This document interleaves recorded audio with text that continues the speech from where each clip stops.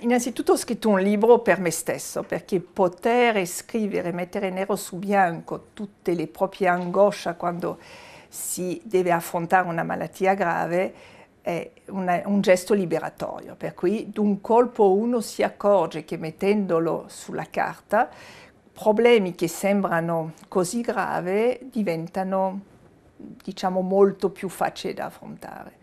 Poi l'ho scritto per i pazienti perché molto spesso abbiamo delle, delle storie di malattia che sono assolutamente simili, anche se con malattie diverse, e al paziente magari può fare un sollievo sapere che altri hanno dovuto fronteggiare la malattia e ne sono usciti, direi, vincenti da questo confronto.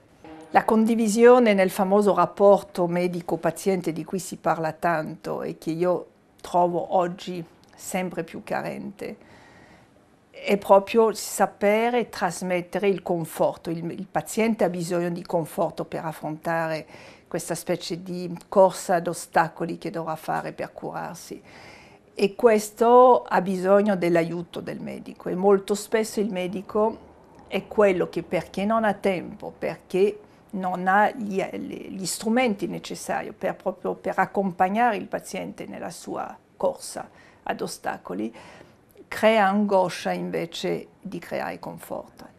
Quello che conta è poter affrontare la malattia, curarla e affrontarla serenamente, senza vedere un muro eh, contro il quale uno la, ha la sensazione che sta andando a, a centrarsi in realtà non avevo, e adesso l'ho sperimentato, cosa vuol dire essere dall'altra parte della barriera ed è tutto diverso. Diciamo che la prognosi diventa un fatto quasi trascurabile, la qualità della vita che ero convinto fosse legata alla tossicità dei farmaci antitumorali e tutto questo è cambiato completamente. Oggi capisco che perdere i capelli, vomitare, avere un po' di diarrea, non ha nessuna importanza, assolutamente nessuno sulla qualità della vita. La qualità della vita è come ci sentiamo dentro, come viviamo la nostra vita di tutti i giorni. Per viverla bene, anche col cancro, molto spesso bisogna essere aiutato e chi meglio del medico può aiutare il paziente.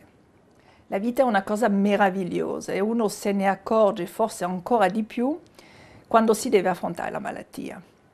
Prima della malattia io ero immortale, nel senso che non avevo mai pensato che un giorno eh, la vita sarebbe finita, per cui potevo anche permettermi il lusso di buttarne via una parte. Se un bene è infinito è chiaro che lo possiamo consumare in un modo, come dire, incoerente. Il giorno in cui uno si rende conto, perché la malattia obbliga a fronteggiare il fatto che un giorno dovremmo morire. Allora ad un colpo questa vita che diventa un tempo relativamente, cioè non, non è più infinito, e diventa eh, assolutamente il bene più prezioso che si ha e che uno avrebbe voglia proprio di, di vivere al meglio ogni secondo. Eh.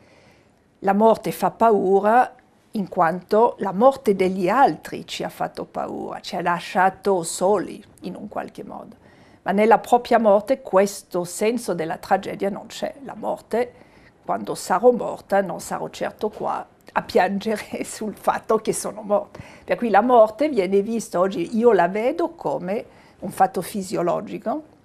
Se c'è nascita c'è per forza morte, il più tardi sarà il meglio, ma non è un fatto tragico, lo, lo posso affrontare in un modo, diciamo, razionale, ecco. non mi fa paura. Ecco. La sua autobiografia in quattro righe. Sono nata, ho lavorato, ho avuto un figlio e adesso cerco il mio equilibrio per questa fine della mia vita.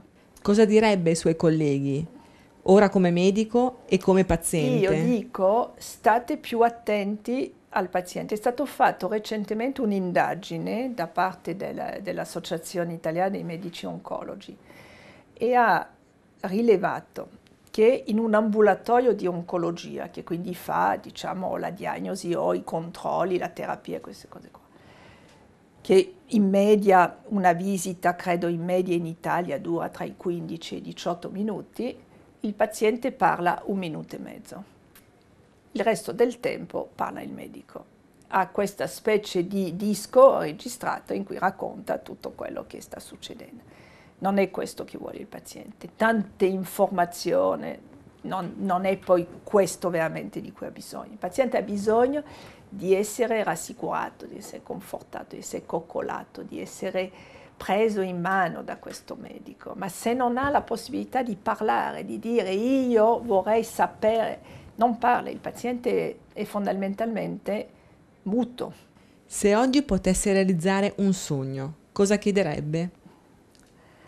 Vita semplice, che tutti potessero fare una vita rilassata e semplice, senza tutti questi beni, senza i soldi, senza questa angoscia che viene, senza soldi non si può fare niente, eh, poi perdo la casa e allora... Eh, e tutto questo secondo me fa vivere male inutilmente perché, come si dice, i soldi uno non se li porta nella tomba, per cui è inutile, ecco, accumulare no, non ha nessun senso. A me il mio sogno è che questo sparisca tutto, che si potesse vivere tutti in pace, magari con molto meno di quello che c'è adesso, ma che la vita ritornasse a essere molto più serena, semplice, più semplice. Non c'è bisogno di avere i SUV per essere felice.